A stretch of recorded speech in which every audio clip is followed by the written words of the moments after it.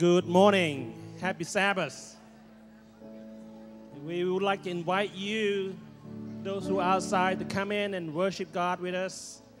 And we would like to welcome you to Puyallup Seventh day Adventist Church, whether you're a visitor or you're uh, watch us online. We would like to welcome you. And uh, it is uh, amazing to see many new faces. I just met a new family who just moved from Hawaii. And they say that this is their home church. And I said, that's, that's, that's right. I think so too. So we would like to welcome you to our Puyallup Church. And uh, there are many uh, new faces that I met last couple weeks ago. Um, and uh, they choose this church as their home church. And uh, so if you haven't chosen your church, this is the church that I would like to recommend. Thank you so much for coming and joining us and worship God. Let us stand as we give God the glory in song and praise Him.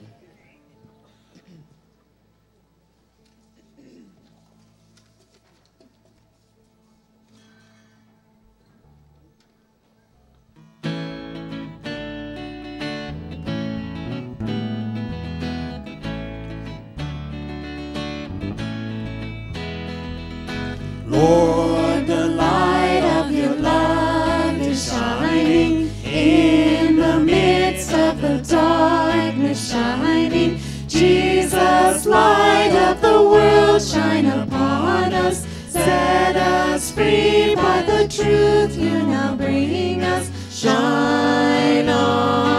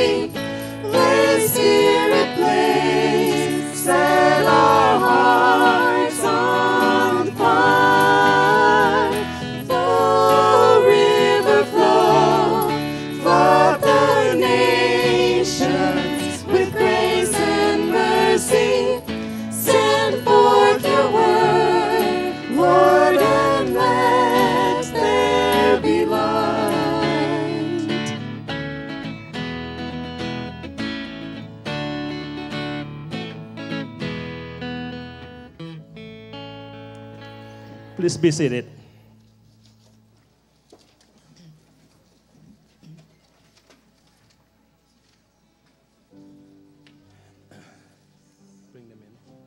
How many of us would like to see your sons and daughter, your father and mother, aunt and uncle in the kingdom of God? I know I do. I've been praying for my family over 25 years. Hopefully, someday they will be in the kingdom of God. Let us sing this song. It's a beautiful hymn song. It's not a new, it's no old, old songs. Bring them in.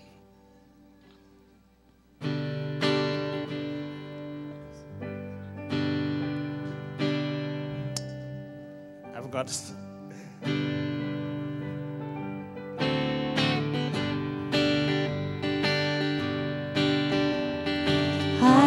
Hark, the shepherd's voice I hear, out in the desert dark and drear, calling the sheep who've gone astray,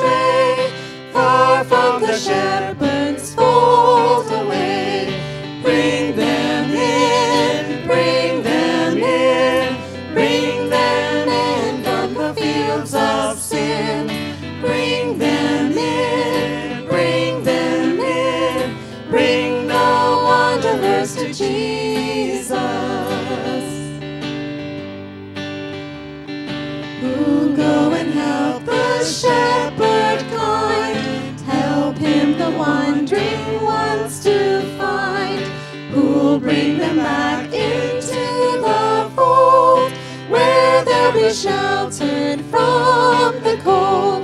Bring them in, bring them in, bring them in from the fields of sin. Bring them in, bring them in, bring the wanderers to Jesus. Out in the desert, hear their the mountains, wild and high. Hark, tis the Master speaks to thee. Go find my sheep where'er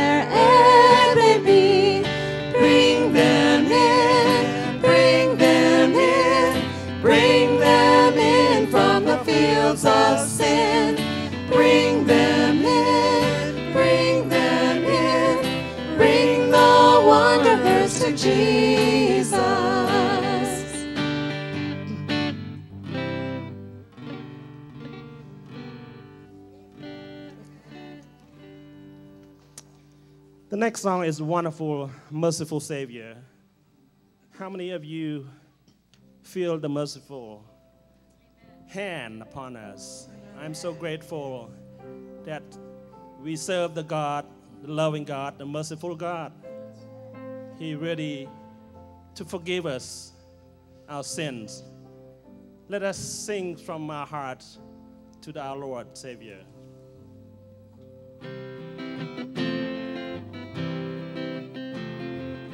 Wonderful, merciful Savior, precious Redeemer and friend.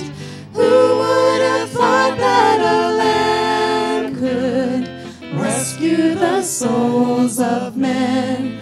Oh, you rescue the souls of men. Counselor, comforter, keeper, spirit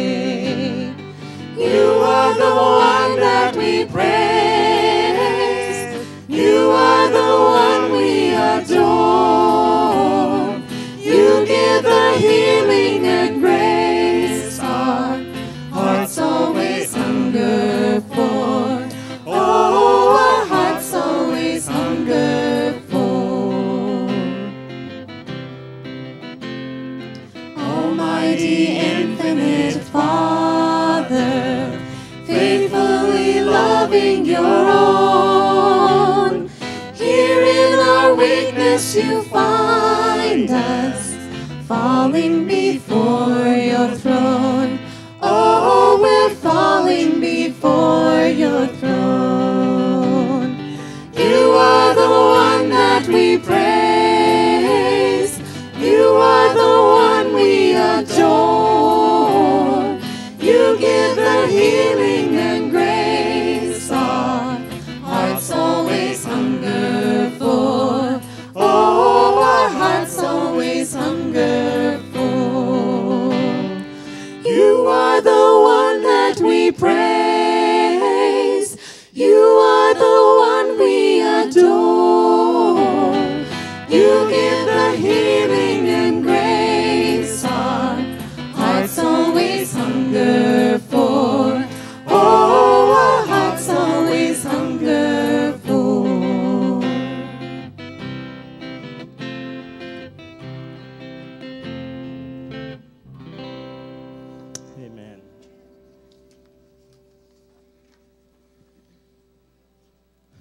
Next song is Precious Lord, Take Our Hands.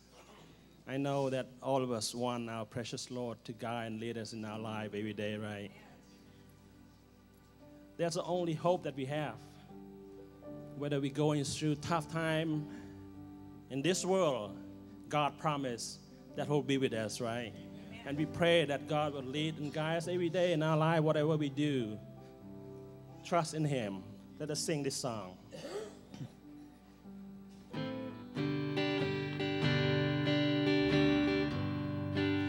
Precious Lord, Take my hand, lead me on, help me stand. I am tired, I am weak, I am worn.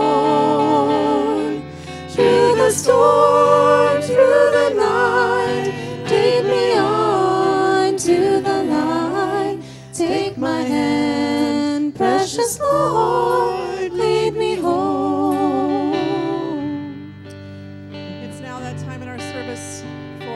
of prayer. I'd like to invite any of you that want to come forward and to bring your burdens to the Lord or your praises or whatever might be on your heart. And um, as we lift our voices in prayer together to our precious Lord, um, I invite you to come forward at this time while we sing the last couple verses of our song. When my way grows drear, precious Lord, linger near. When my life is almost gone,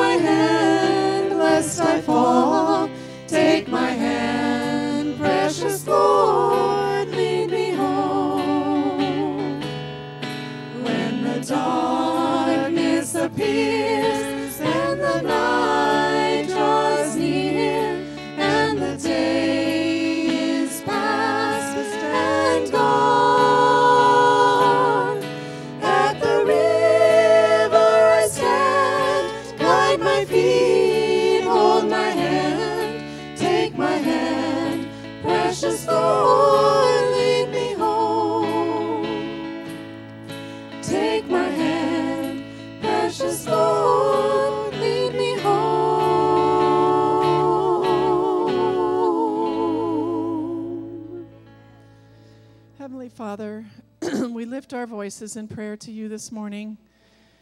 There are represented here many, many burdens, many, many heartaches, many people that we want to bring into your fold. And Lord, we just pray that you will draw close to each one. You know the burdens on each heart, you know the prayers that sometimes we can't even voice because they are so painful. But Lord, we just pray that you will bless each one of us, guide us closer to you, bring our loved ones and family and friends into the fold, Lord, and use us. Let us be used by you to, to invite them in. Lord, we also recognize that this week has, has marked a, a glaring problem in our country of division and of, and of um, anger and of, of pain and hatred and, and racism and whatever it might be, Lord. And we know that we may never see our nation healed because we know your coming is really soon. But Lord, we pray that you will use each one of us. Let us be that healing balm to those that we are in, in contact with, that they will see a different spirit in us, that they will see one of love, one of acceptance, one of, of unity, and that they will be drawn to want to know what group of believers has this kind of love and unity. And it's only you through us, Lord. We pray that you will help us to, to recognize even, even our Facebook posts or whatever it might be, that we be always filtering our thoughts as to in our comments as to what you would have us to say what we can re- represent you in the best way to bring that healing and that loving touch to those around us that are hurting and that are confused or that are angry lord we want to um, pray also for all of our bible study contacts that many of us in the church are reaching out to and around the conference Lord, we want to see a rich harvest. We want to see many new faces in this church that are souls that you've won for your kingdom.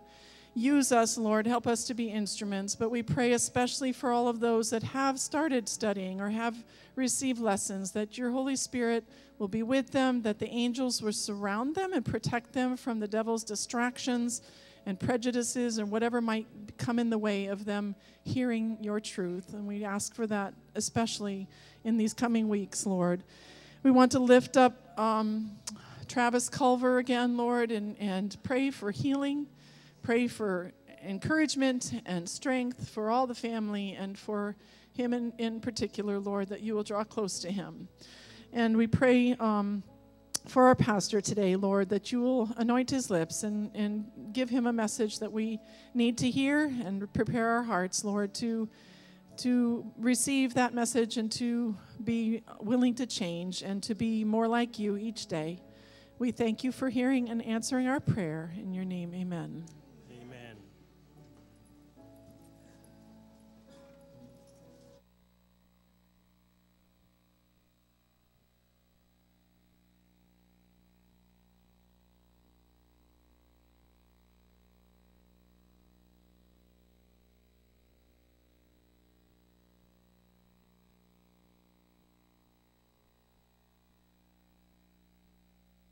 Morning, church. Good morning.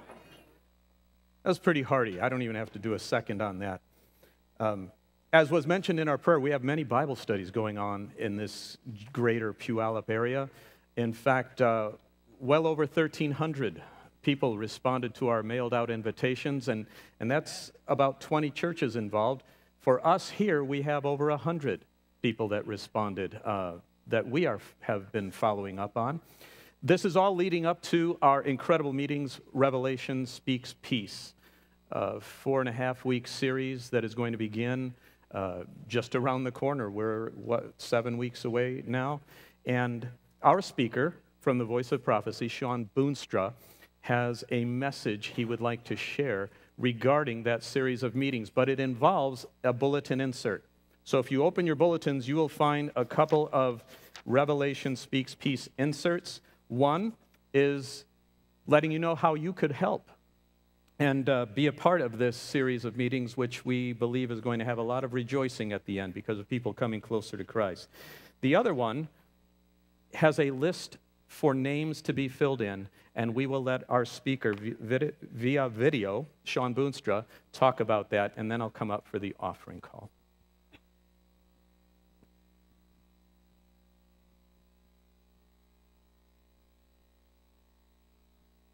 Last weeks to go before the meetings open down here at the Puyallup Fairgrounds. So I thought I'd come down here and walk the property and do a lot of praying. Places like this are really important to me personally. It was in an evangelistic auditorium that I gave my heart to Christ, well, almost a quarter century ago. And I know what's about to happen down here. I've seen it all over the place. These people who show up, God has been working with them for years, sometimes decades bring them to the moment where we get to meet them. So the auditorium is going to become holy ground. It's going to be this convergence point where people from every walk of life who have been hearing the voice of God speak to them for years and years and years all come together. And together, you and I are going to share the everlasting gospel with them. They're going to hear truth that makes sense to them because God got them ready for that moment. So I'm walking these grounds thinking about these people. I don't know their names yet. You do know some of their names. So here's what I'd like you to do pray over those names.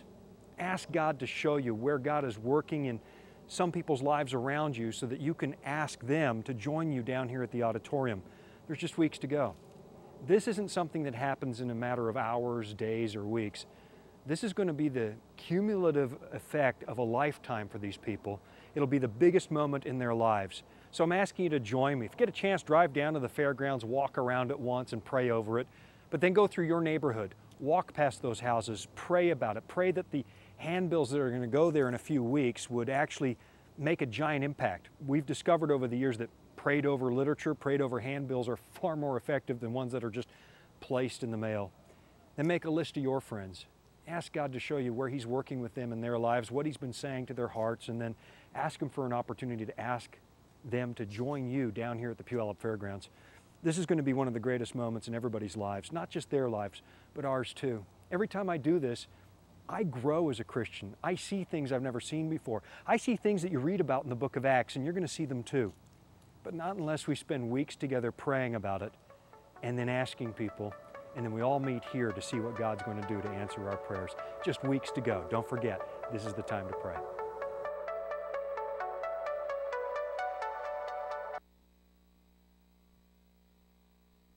And we do have a special prayer emphasis coming up just around the corner as well that you will continue to hear more about. Here at Puyallup Church, we have condensed our mission statement into something very short but profound. Can we say that together? Know Jesus and share his love. Part of how we do that involves money. Yes, I said the word, the M word in church. And here at Puyallup Church, we have four main giving values all under the umbrella of stewardship. Stewardship is a word that uh, has been used more in the past, but uh, we think of it as management. And we have a very, again, simple, easy to remember definition of what true Christian stewardship is. And I'd like that to be said together too, even with some emotion, huh? Here it is. Let's read it together. Stewardship is managing God's blessings, God's ways for God's glory. So, how do we do that? Through our four main giving values here at the Puyallup Church. We have tithe and local church budget, building fund, and Christian education. What do those all mean? Let's break it down. Tithe. Tithe is the 10% God says, return to me that directly funds Bible workers and pastors, specifically here in Western Washington when we give it here. But eventually, more, some of that money trickles on into other realms, even spreads around the, the world to share the gospel. Then we have local church budget. That's something I'll talk to you a little bit more about with a story, but just the basic, it funds the way we pay for resources to do our ministry of sharing Jesus here in our locality. Then we have a building fund. We could say mortgage payment, but this sounds better. It pays the mortgage so that we could have this building in which we house both a school and this gym turns into a sanctuary every Sabbath because you are paying the mortgage on it. Last but certainly not least, we believe in Christian education here, and we could elaborate about that, but basically, this fund is for students who otherwise could not be here unless they receive some monetary help. So that's what that fund is for, our four main giving values. Now, today's particular call is for local church ministry. So I would like to connect with a story. How does local church ministry and these upcoming meetings and that bulletin insert with a, a list of blanks for us to fill in names of people we're going to associate with and pray for and invite to the meetings, how do those two things go together? Little story. Back in 1981, I was baptized, committed my life to Jesus Christ in May of 1981 way back when I had hair. And it was a beautiful experience, and I wanted to share the joy I was experiencing in my new relationship with Jesus with other people. So, without anybody telling me, I literally made a list of my friends, my coworkers, people in my neighborhood, people in my family that I wanted to share Jesus with. One of those names was a guy named Rich. Rich had been in my life for about 15 years at that time. We were on a little league team together, a bowling team together. We did a number of things. He lived just a few doors down from me. But because Rich had a little bit more uh, wherewithal and I was a little poorer, I stayed in my Chicago area for community college while he went to university. After four years, he came back, after a little bit more than that, but uh, he came back shortly after I was baptized. And when he called me up, he invited me to go to a place I used to frequent as a non Christian. That's the PG version. And I said, Rich, there's been a change in my life, and I'd like to tell you about it. I'll take you out for supper. So we went to a restaurant. I shared how God had led in my life and what he had brought me to, and Rich seemed interested. So we would talk about that from time to time. I invited him to come to my church. We were holding a series of meetings similar to what we're going to hold at the fairgrounds. And I said, Rich, it's very simple. I am going to bug you and bug you and bug you and bother you to come to these meetings. As long as you come to just one, I'm off your back. You won't hear me talk about it again. But I'm going to bother you till you come to, to just one. And he chuckled, but he, he came to like the second or third meeting, and he came to many subsequent meetings that we held in my local church building where I attended. As a result of people funding the local church ministry, we were able to do that evangelistic series, have people congregating together where Rich met other people that he could be friends with. And Rich, a year later, was baptized. And now, since 1982, he has been serving his local church as a deacon, as a Sabbath school teacher, as a musician, and as a singer.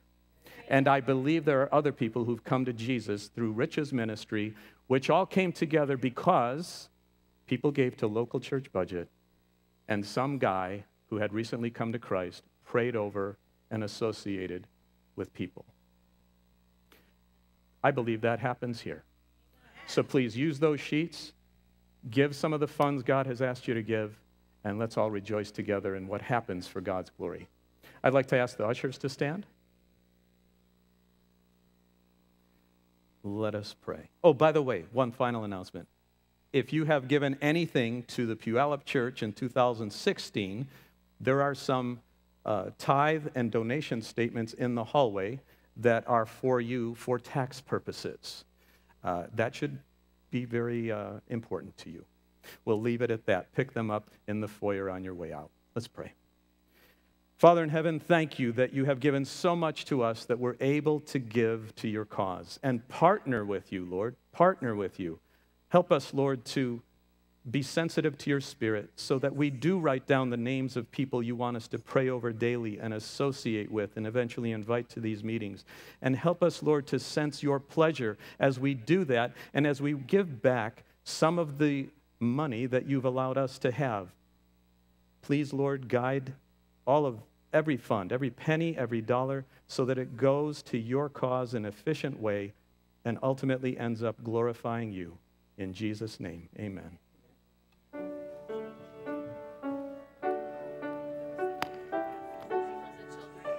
Oh, yes, and this is time for children's stories. So the children become collectors of your kind generosity. That money goes to our building fund. Come on, kids, come on up, put it right here in the little church. And we will move this.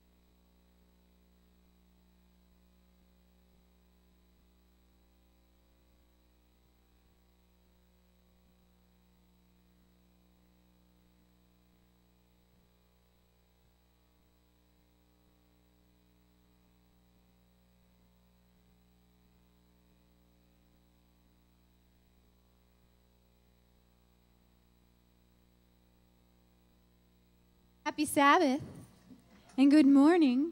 I'm so glad to see all of you. Well, on this Sabbath day, I have a very big question for you. So, can you put your thinking caps on? Put your thinking caps on.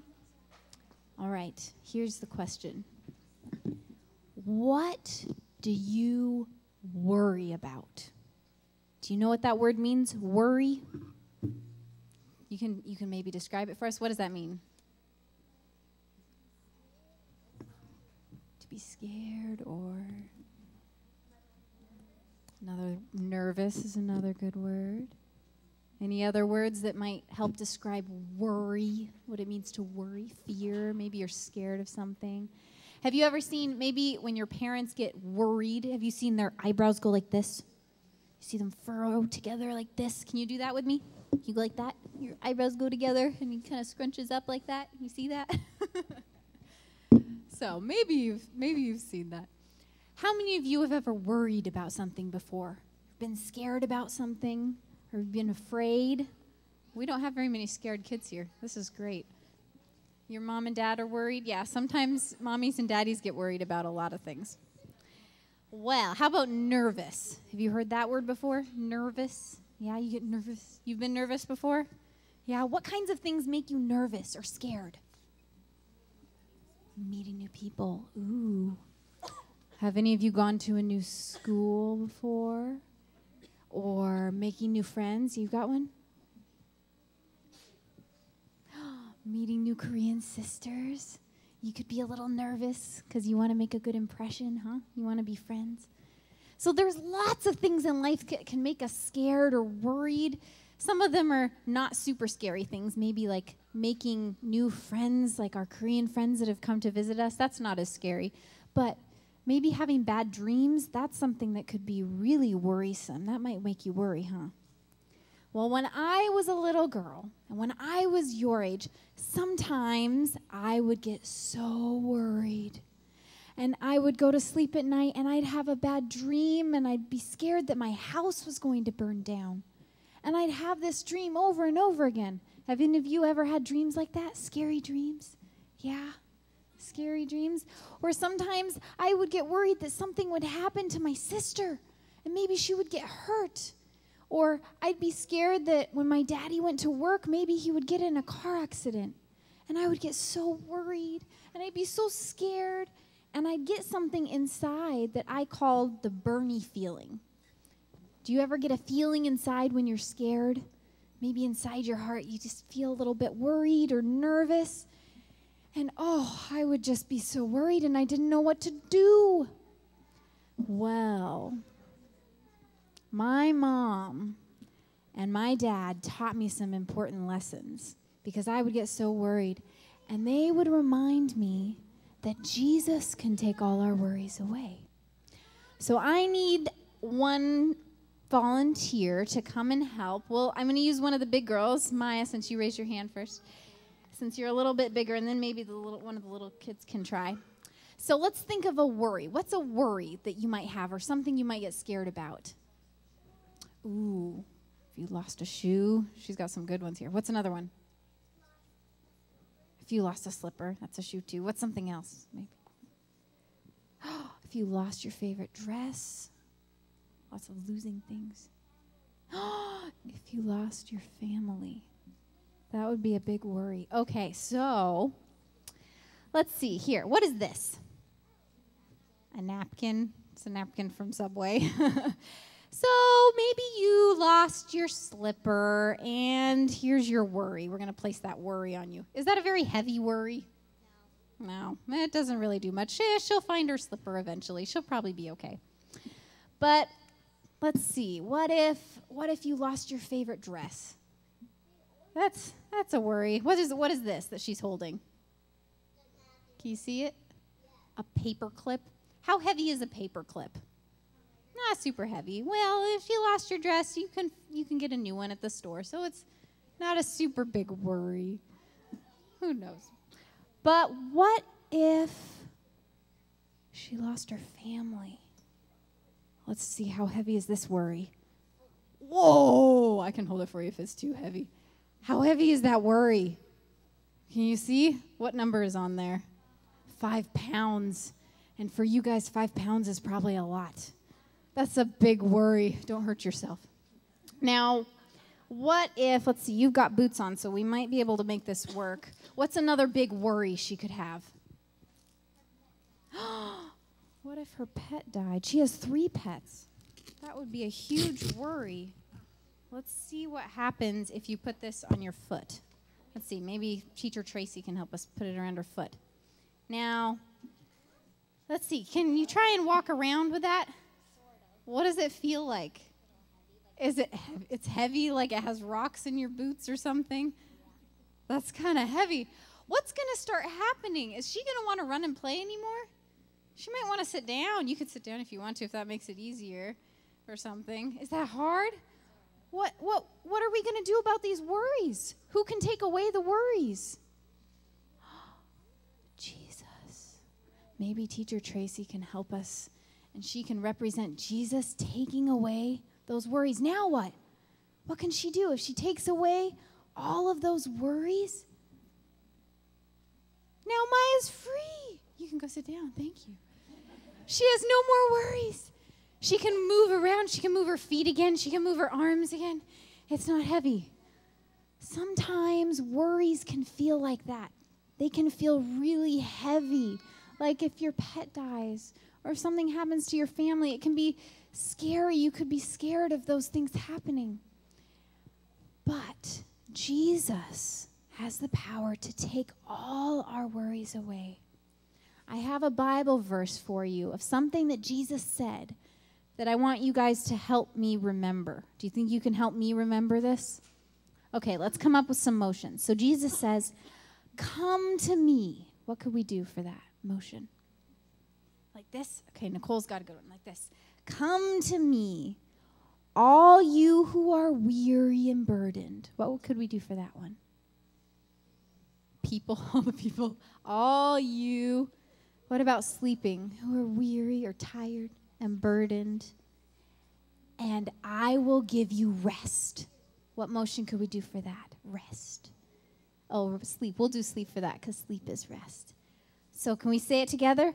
Come to me, all you who are weary and burdened, and I will give you rest. One more time.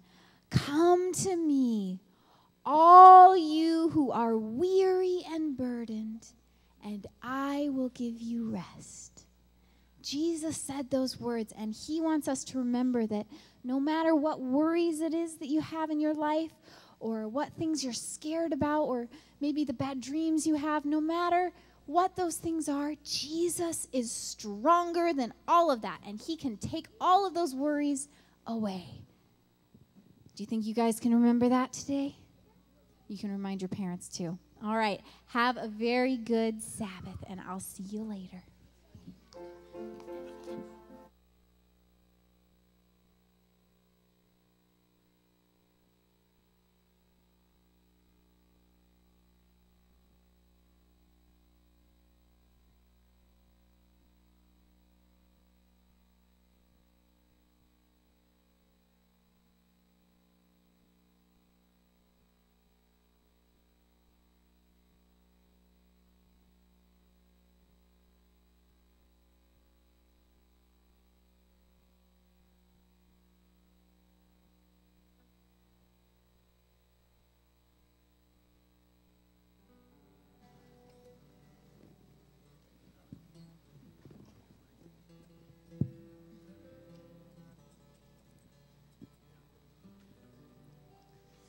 The title of our song today is Side by Side We Stand, Awaiting God's Command.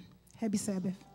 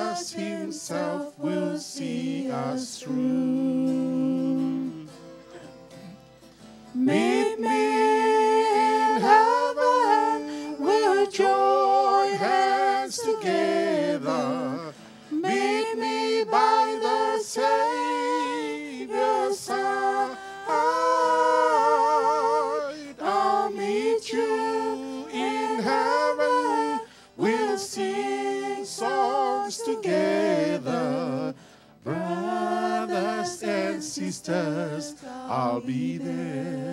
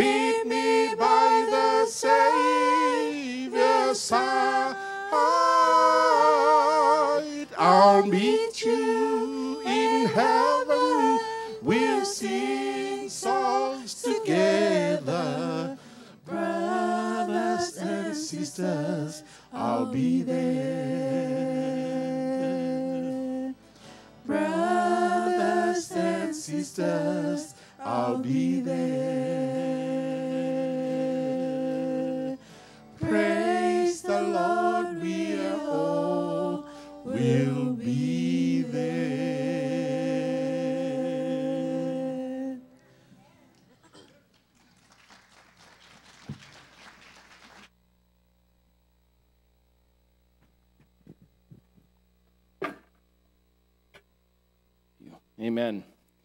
Thank you so much for the gift of music and worship. Good morning, church.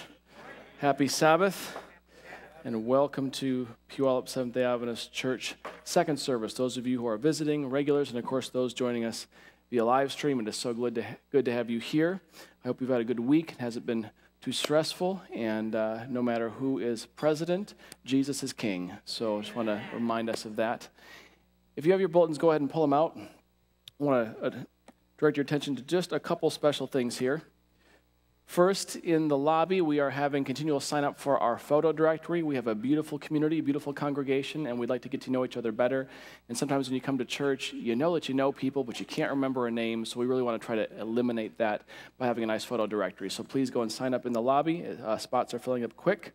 Uh, also, 10 Days of Prayer is happening February 1st, and we have Kevin Wolfie from the conference who's going to be help leading that. There's going to be childcare, so there's there's no excuse to not have some more prayer in your life as we get ready for these meetings that Pastor Mike talked about. And also, uh, big thing that's happening next weekend that's totally new to our church is we're doing something called Vintage Church. We're going to turn the clock back a little bit and do church a little differently. We're going to have a little experiment to kind of remember some of the practices that I know I grew up with and my parents grew up with. And then we're going to change Sabbath school a little bit too. There's going to be one church service next week. And the Sabbath school experience is going to be an intergenerational potluck. One of the reasons we're doing Vintage Church is because we have a very diverse congregation and we have a lot of different age groups in our congregation. And because the way communication changes and culture changes, sometimes different generations don't end up talking to each other. We get sort of separated. So we want to we want to bring everyone together and have a unique, unique experience and practice what we call intergenerational ministry. And this potluck is going to have a couple things that we've been plotting, planning on to uh, help you with, and I think you're going to find it to be edifying. Um, but what's going to make it really successful is this potluck brunch next week is going to be wonderful as long as all of us bring something good to eat from home. So let's all bring our favorite things together for brunch.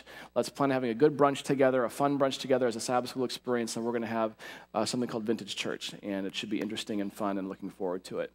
We are in a series called The Art of Church. This is our third one. Somebody shouted three last week and messed me up. This is our third one. And we are going through our, our mission statement. And one of the things that we want to do with The Art of Church is, first of all, when you talk about art, whether it's a painting or a sculpture or whatever medium of art it is, a work of art is not complete until someone has interacted with it and experienced it. And so, church is not just this abstract thing, it is something we interact with, it's something we connect with, and we respond to. It, it requires involvement. And the other reason we want to look at church is because we are anticipating seeing many people give their hearts to Jesus, and we anticipate some of those people, a lot of those people, showing up here at church. And so it's good to remind ourselves why are we here and what are we doing so we can make sure that they have the best experience possible when they decide to become a part of the family of God. Are you with me? Okay, so last week we looked at know Jesus, and there is a difference between knowing Jesus and knowing about Jesus. And we tend to do very good at knowing about Jesus with a very informational approach, but there is a deeper, imaginative, emotional experience that results in a deeper knowing. So we don't just want to know about Jesus, we want to know Jesus in a personal relationship. And so we're looking at the second half of our mission statement right now, which is share his love. So once we know Jesus and he changes our hearts and minds and our life, what, now what do we do? With that. What does sharing look like? How does sharing work? I want to give a couple caveats to the sermon. First of all, I'm going to start talking about one thing, and it's going to seem like it's not related, but it is. I will, we will get there. We will connect it, so don't freak out. The second thing I want to encourage you with this sermon does have a point and an ending, which should make you very grateful to me for doing that. Uh, but I make that statement simply because there is only so far a sermon can take you. At the end of a sermon, or a song or a book, at some point you have to say, What is God doing? How is He speaking to my heart?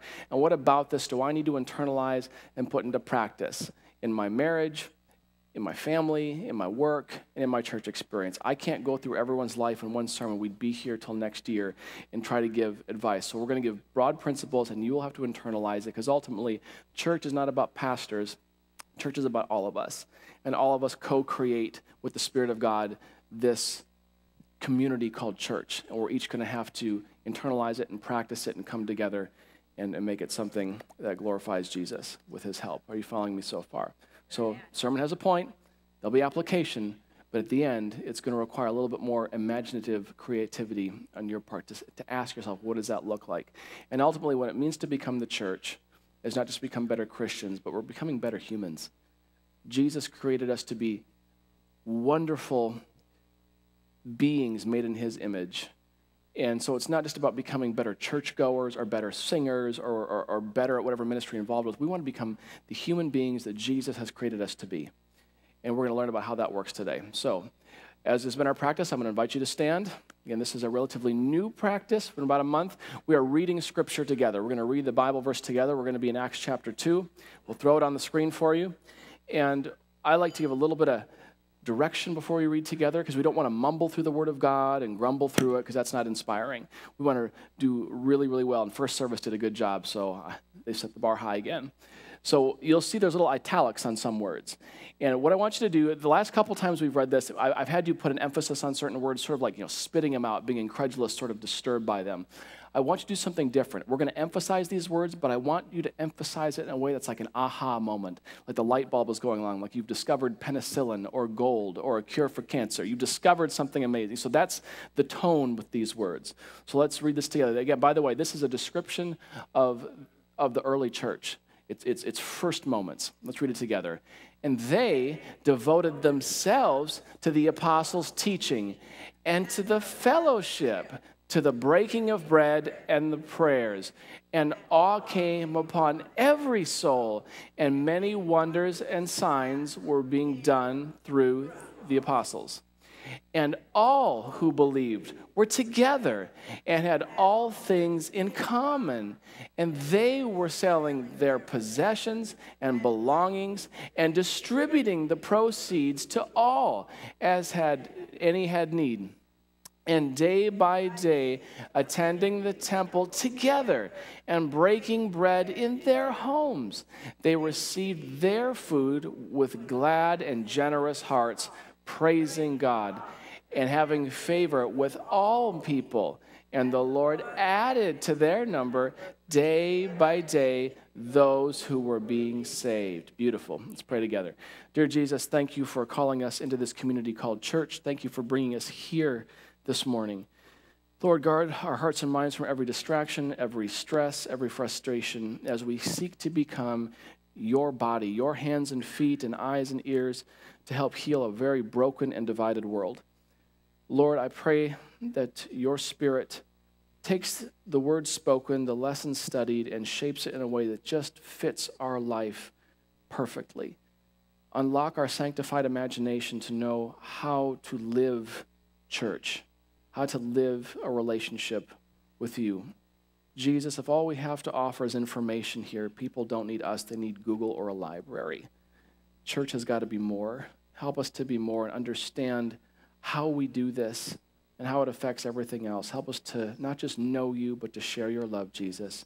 We thank you and we praise your precious name for all that you do for us. And, and we said, Amen. You may be seated. One of the strongest ministries of the Seventh day Adventist Church is its educational system. It is the largest Christian educational system in the world next to the Roman Catholic Church. Ironically, the philosophy of this massive system of schools is rooted in the writings of a woman who had no more than a third grade education a divinely inspired woman whose writings produced a philosophy of education that spans the entire globe, from kindergarten through doctoral studies. In writing about this curriculum, here's what she says. And by the way, that should encourage some of you. You know, the fact that such an amazing thing was done by someone with a third grade education and the Spirit of God working in their life. Next time you fail a test and feel discouraged, remember what God can do when you feel like you don't have the professional or academic credentials to make an impact of cultural significance, remember this what, what God enabled her to do. But here's what she says writing about Christian education. Manual training is deserving of far more attention than it has received. In school and schools should be established that in addition to the highest mental and moral culture shall provide the best possible facilities for what? Physical development and because kids love to work They love it.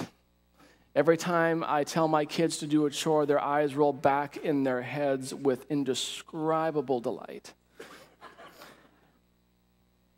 Every chore is a cheer, every task is a treat, every job a jubilee in my house. At least that's what I tell them it should be when I'm exhorting them to do something. If that doesn't work, I start singing just a spoonful of sugar helps the medicine go down from Mary Poppins until they feel sufficiently motivated to complete the task that I've asked them to do. Ellen White makes this statement because she understands that education is more than a lecture. Learning involves more than information. She states in another place true education means more than pursuing a certain course of study. It has to do with the whole person and with the whole period of existence possible to human beings. It is harmonious development of the physical, the mental, and the spiritual powers. It dovetails off of Jesus' words You love the Lord with all your heart, all your strength, and all your mind. Ellen White wrote these words 114 years ago. And today, contemporary theologians, educators, and philosophers are backing her up. James K.A. Smith is a leading voice in postmodern theology and epistemology, the study of how we know what we know. And he criticizes contemporary Christian education with these words. I'll back up the slide here. Here's what he says The end or the purpose of Christian education has been seen to be the dissemination and communication of Christian ideas rather than the formation of a what? Peculiar people. He could be an Adventist. In other words, our focus has been on informing people, not forming people. Several hundred years ago, the philosopher Descartes, who was wrestling with his own existential doubts, came up with a phrase that sort of soothed his soul, and you know it even if you hate philosophy. I think, therefore, I am. And that philosophy crept into Christian education in the church, which basically communicated the idea that people, in terms of their being, or what technically we call ontology, people are primarily thinking things. People are more than thinking things. As an exercise, take a moment and I want you to try thinking about thinking. Just think about your thinking. Don't think about a thought you've thought, think about your thinking. Are you thinking? About what you're thinking? Are you thinking? Most of the time, we can't do that. What we, we end up thinking about something or of something or in relation to something. We, we, can't just, we can't just think about thinking. We're thinking of something. We're thinking of the beach. We're thinking of a nap. We're thinking of lunch. We're thinking, how long is this sermon going to be today? We've only just started. Before Descartes made his statement, another very gifted educator theologian and philosopher, St. Augustine, said people aren't primarily thinking things in terms of how they orient themselves to the world and move through the world. They don't necessarily think through it because they're not primarily thinkers, they are lovers. In other words, our orientation, our being is towards desire. And whatever our desire is aimed at forms the kind of person we are. It echoes Jesus' words in the Gospels wherever your treasure is, that's where your heart is. And out of the abundance of the heart, the mouth speaks, or you see some outward manifestation. And so James Smith, contemporary theologian, makes the point that, that most of what we live is not by what we know, but by know how. Last week we talked about how everyone has a, a life pattern, we call a life structure. And that life structure is based on choices we make, based on how we imagine the good life is supposed to be. And our imaginations are created through the images that we encounter every day. Now, we talked about last week how about 150 plus years ago, you were very lucky if you had one piece of art hanging in your house and maybe one family photo. How many images have you seen just this morning? All trying to shape your imagination, which shapes your life structure. We're going to go a little bit deeper this week it's not, the life structure is actually a structure of feeling, which means that when you're operating in life, you tend to sense the world before you think about it. You feel your way through the world before you think about it. Now, let me clarify we're not against thinking here. Thinking is good. We should do more thinking. But that's not primarily how we first orient ourselves to life. We have this fundamental precognition or pre-thinking way of interacting with the world that shapes what, who we are, what we know, and what we do. Let me give you an example. If you've grown up in a neighborhood all your life or grown up in a neighborhood for any length of time, you know how to find your way home, whether you're at the grocery store, the library, the mall, you just know where to go. You don't have to think about it. You probably have never even seen a map of your neighborhood. You just know no matter where I put you in your neighborhood, you will find your way home. You don't have to think about it until somebody who's not from that neighborhood shows up and says, Hey, how do I get to the library? Ah, okay, so I know it's that way a while. and you just go down and then you take a left. I don't know the street name. You just, there's like a dog sometimes out there. Look, I'm just going to go with you. It's just easier that way. You can't explain it because you haven't had to think of, you didn't think about it. You've just oriented yourself. Your rhythms of your life is, have been developed through how you sense around the world.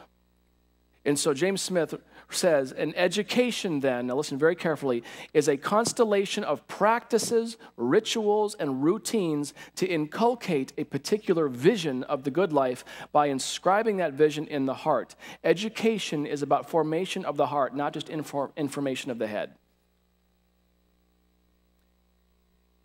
Education happens at the mall. it happens in the hall. Happens in the fall, sorry, at a Dr. Seuss moment. it happens at a football game, happens at your dinner table, it happens at church. Education happens everywhere, which is why when someone criticizes Christian education by saying, I'm paying all this money for a Bible class, they have no clue what they're talking about. What you are paying for is the privilege of being in a culture full of ways of doing things that will actually form your child to be the kind of peculiar person that Jesus wants them to be. It is so much more than information. Christian education, and here's the link now when it comes to sharing Jesus, sharing his love. Christian education is a product of the church. And the church, in terms of our worship experience and our gatherings, are a product of people. How we live our life in our home and how we, how we do worship together in church. Now, follow me very carefully here. An informational approach to life will lead to an informational approach to church, which will lead to an informational approach to education. And what will happen then is we will create a community of people who are well informed but not well formed. Are you following me?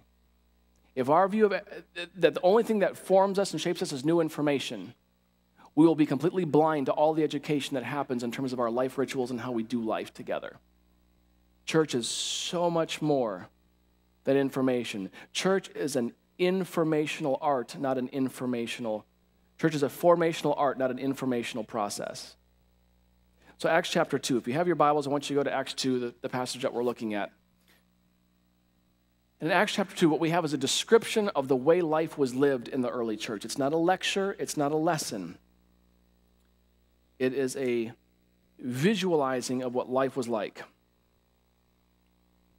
Acts chapter 2 and verse 42. And I want you to pay close attention to just not necessarily what was spoken, not what was being taught, because it doesn't tell you in this passage. It just reveals how they practice life together. And they devoted themselves to the apostles' teaching and the fellowship and the breaking of bread, or having meals together and praying together. And awe came upon every soul, and many wonders and signs were being done through the apostles. And all who believed were together and had all things in common. And they were selling their possessions and belongings and distributing the proceeds all as any had need. And day by day, attending the temple together and breaking bread in their homes together, they received their food with gladness and generous hearts, praising God and having favor with all the people because people saw that this community of sharing, it wasn't just about what was being taught, it was about how they were doing life. And it was so much better than the surrounding culture that they were a part of. They shared everything, not because the government told them to, not because the Seventh day Adventist General Conference decided to have the year of sharing, not because the apostles managed to make people feel guilty enough to bring something to potluck. Mm-hmm. It's because each of them, filled with the Holy Spirit, had such a radical vision of Jesus and what community could, could be that it shaped everything they did. It captured their sanctified imagination and they lived it out in creative ways. In Greek etiquette, when it comes to meals, everyone who eats together is equal. As a matter of fact, if you were to gossip at the banquet table about somebody else who was attending, it was as rude as a unexcused loud belch at a five-star restaurant. You just don't do that. Greco Roman culture, when it came to practicing these meals, tended to keep these meals sort of even in terms of socioeconomic status. In other words, if you were attending these meetings, everyone would just kind of stay with their level. You didn't mix and mingle so much. Occasionally, you had a wealthy patron who would throw a banquet for people of the lower class, but he wouldn't necessarily, or she wouldn't necessarily eat with them. They'd eat somewhere else. So you'd arrive, oh, we're so glad you're here. You're going to be eating in the riffraff room with all the other undesirables, and the patron's going to be over there with the important people. The early church, with this radical vision of Jesus, decided to introduce a new etiquette. We are going to have a meal, and no matter who you are, everyone can eat together and is equal. The ancient synagogue excelled at separating people men, women, Jews, Gentiles, everyone had their own separate place to be. Early church rejected that separation but they retained two things from the early synagogue. First of all, er, the early synagogue always had a dining hall and always had a hotel for travelers.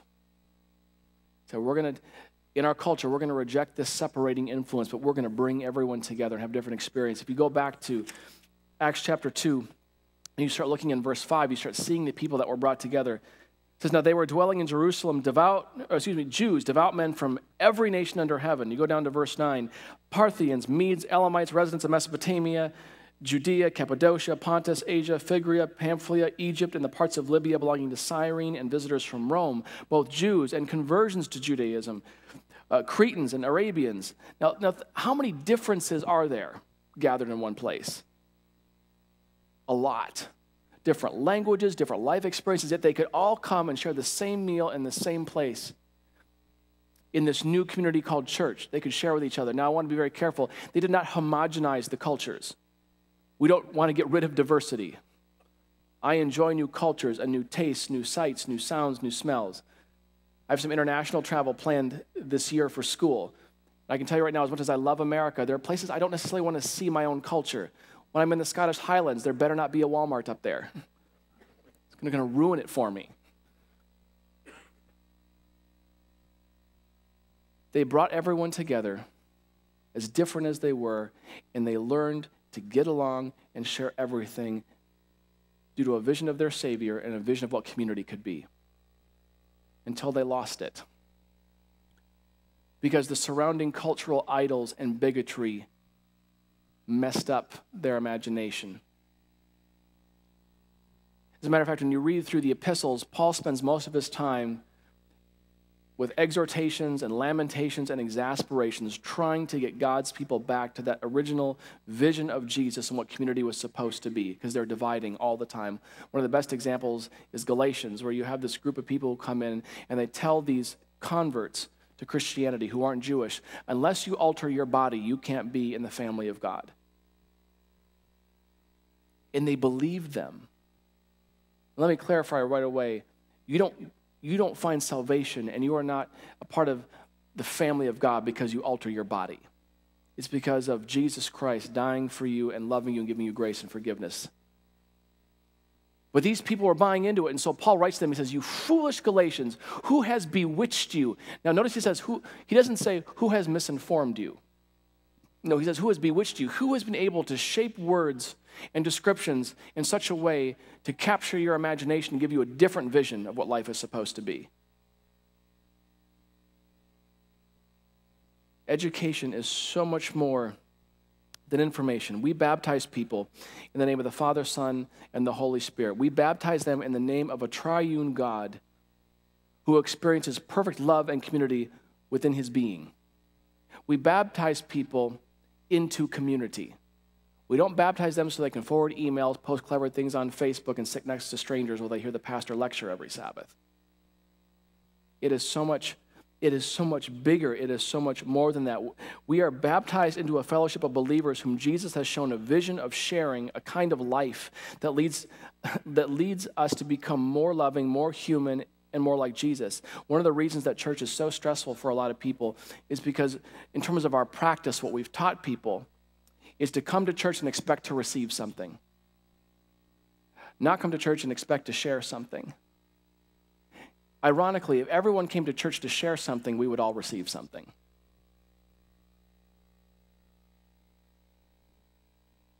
The way we have shaped church is not about sharing. And here's the thing sharing isn't just about sharing your money or your food. Sometimes sharing involves sharing your time, attention, and your energy to people who are burning out in ministry. I know there's a lot of people who have talked to me and they said, you know, I, I sense that I need to be involved. I sense that I need to share, but I don't have this one thing. I don't have this one position I feel called to. So I don't know what I'm supposed to do. I'm supposed to know I'm supposed to be involved somehow. Let me give you, let me give you an idea. Perhaps the thing you are called to is to lend your energy to those people who do know the position that they're called into that your job is to be a source of cheer and encouragement and energy and help to those people who do know what positions they're supposed to call into. By the way, what I'm describing here, we have a name for it. It's called pastoring. Pastoring is encouraging and equipping and cheering other people on in their ministry. And you don't need to collect a check from the conference to do it. You can pastor your peers and develop a spirit of sharing in this church when you share, the, the, I mean, the place you start is you, we are experts on our own life experiences, our own questions, struggles, and victories. Our starting point is just sharing life together. 1 John 1 1 to 3. Listen to how the early disciples describe their spiritual experience. That's what was from the beginning, which we have heard, which we have seen with our eyes. That should be eyes, not yes. Which we have looked upon. Now, catch this part. Which we have what? We've touched. With our hands concerning the word of life. It's not all up in here, it is a, it is a whole way of doing life that we want to proclaim to you not so that you can be well informed, but so that you can have fellowship and sharing in this community, this culture with us. It is so much more than information. You witness and you share Jesus' love by how you share and practice your life with others, your creativity, your resources, your table, the way you speak to others as you share your story and invite others to share their story with you. Church, for too long, has been more about programming than sharing. It's about maintaining programs, not maintaining relationships and sharing. Now, church changes as we go through the centuries and the decades, and it's futile to try to go back to a 19th century New England church framework or a first century Palestinian church framework and, and retrofit it onto 21st century Washington church. But as we look back, sometimes we get some insights into the spirit and the character of what shaped those early communities that were so effective. So I want to walk back a little bit. The Adventist church came out of the Millerite movement, which put all its hopes on the fact that Jesus was coming in 1844. He didn't, by the way, just in case you were wondering. And yet, that early Adventist movement didn't lose their vision of Jesus, their vision of heaven, and what that meant. That vision of Jesus' soon return oriented their entire life practices. And church looked very different in the 19th century than it does now. If we were Seventh day Adventists in 1860, 1870, 1880, and so on, you wouldn't have three pastors at this church. You wouldn't have one pastor at this church. As late as 1912, people like A.G. Daniells, who was the General Conference president, wrote and described the churches in this way. We'll throw this on the screen. We have not settled our ministers over churches as pastors to any large extent. Our brethren and sisters, that's you and me, have held themselves ready to maintain their church service and carry forward their church work without settled pastors. Ellen White writes that we are to highly respect the position of, of pastors, but to build up yourselves. She says, when you assemble in the house of God, here's where the Christian education part comes in. When you assemble in the house of God, tell your experience. In other words, share and you will grow stronger. When you speak in meeting, you are gaining an education that will enable you to work for others. By cultivating a culture of sharing, building in that practice here, getting into that rhythm here, that's what enables us to go sharing out there. That's not typically how we form church. Every form of communication has what we call an intertext, meaning it's not just the content of your message that influences people, it's the shape that it takes. So, in other words, how church is conducted teaches people how to be Christians sometimes more than a sermon ever could. Let me give you some examples. I remember pastoring a church where the people hated each other. They didn't like each other.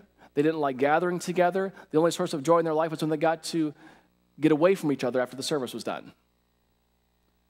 Which tells you that you don't want to be at church. Church is not a place to come and find family and friends and relationships. You're communicating, regardless of what the sermon says.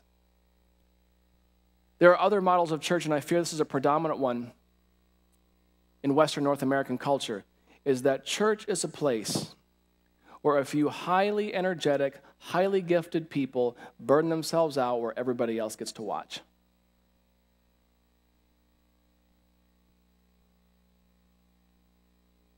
There are models of church where people say, you know, it's just easier to stay at home, watch online, and do our own thing, which is reinforcing a 21st century American consumerist individualist ideology, not a Jesus community theology.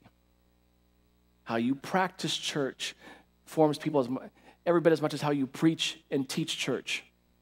Ellen White even goes so far as to say, Our people should not be made to think that they need to listen to a sermon every Sabbath. Whoa, Ellen, let's not get a little carried away. I mean, when you look at Pentecost, uh, Peter preaches a pretty good sermon, and then you have this church experience. She says often it would be more profitable if the Sabbath meetings were of the same nature as a Bible study class.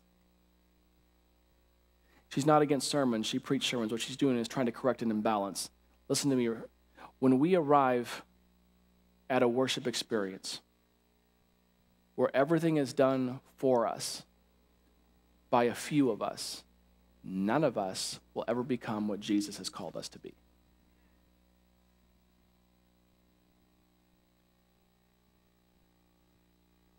When I was in Peru a few years ago on a mission trip, we're on the mission base, and the director said that his brother, who was a pastor in Brazil, I believe it was, got a new job.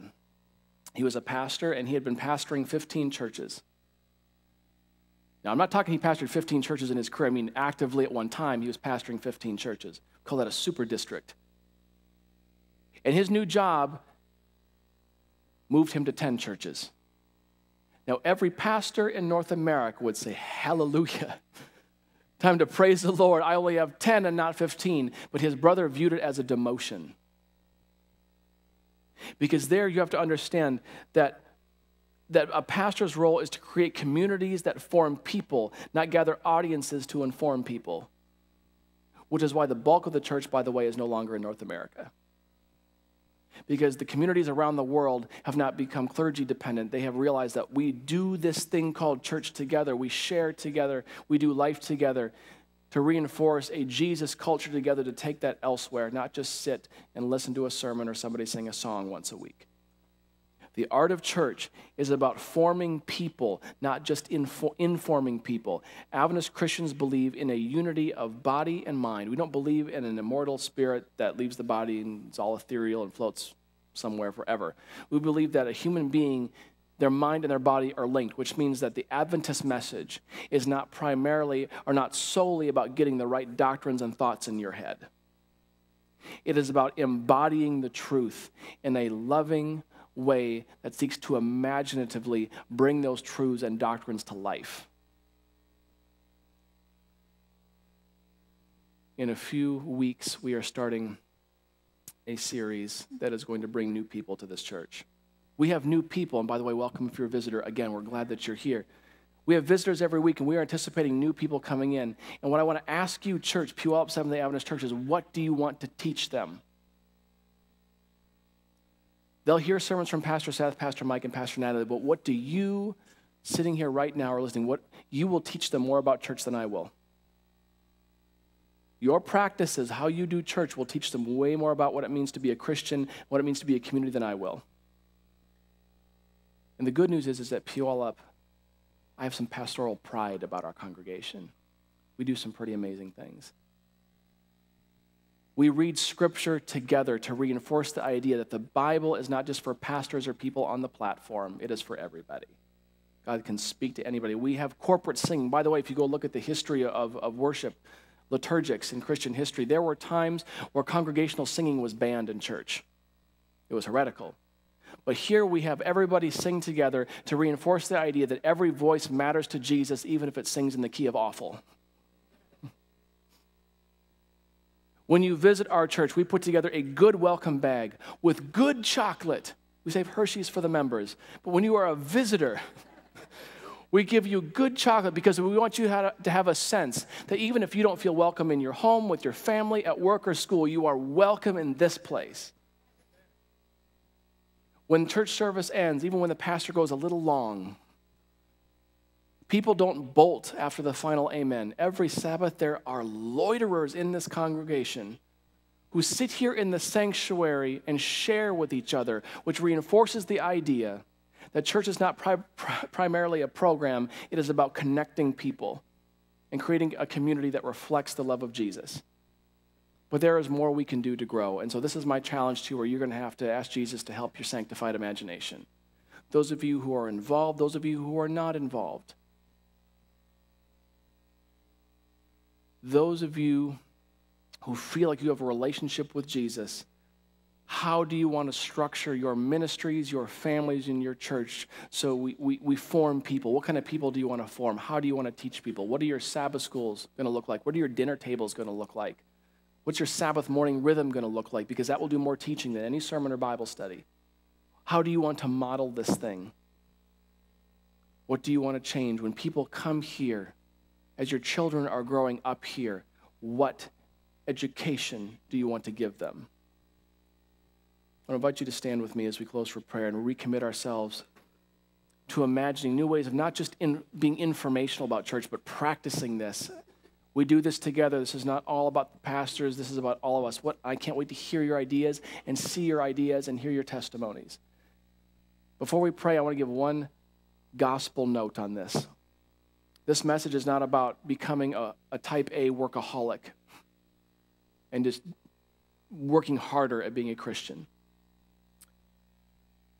Because part of modeling Christianity and modeling church is our ability to receive forgiveness and grace for our shortcomings when we don't have all the answers or all the energy. And by simply being willing to receive grace and forgiveness, not just from Jesus, but being able to receive it from yourself when things don't go the way you want, you will model Christianity here. So tuck that one away. Let's pray together. Dear Jesus, we want to be a group of people who share your love in a way that doesn't just inform people, but it forms people. Jesus, there are so many things I am grateful for in this church. I know there are so many creative things that we haven't thought of yet that you will bring to the forefront this year that will create a culture of sharing, of community, over against the wider culture of idolatry and bigotry. That this will become a place where we serve each other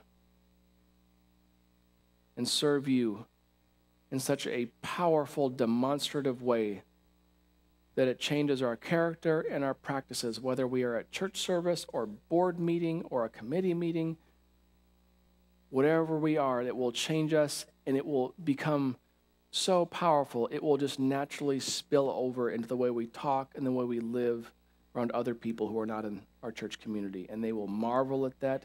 As scripture says, awe will come upon them, and you will add to our numbers daily those who are being saved. Thank you for everyone here. Thank you for the privilege of being able to practice church. Thank you for good information, but may we go deeper than information and have transformation by your grace, the power of your spirit. We thank you, Jesus. In your name we pray. Amen.